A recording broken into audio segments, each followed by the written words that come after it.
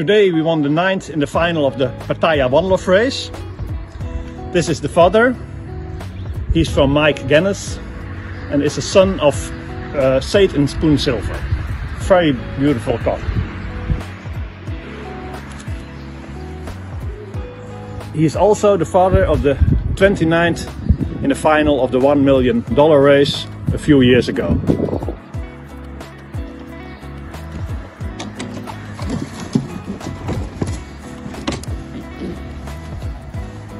This is the mother.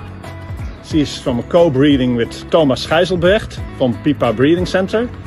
She's a di direct daughter of Bess Kittel. Bess Kittel was uh, coupled with the daughter of Kleine Jade. Kleine Jade was my uh, Bas international Barcelona winner 2014.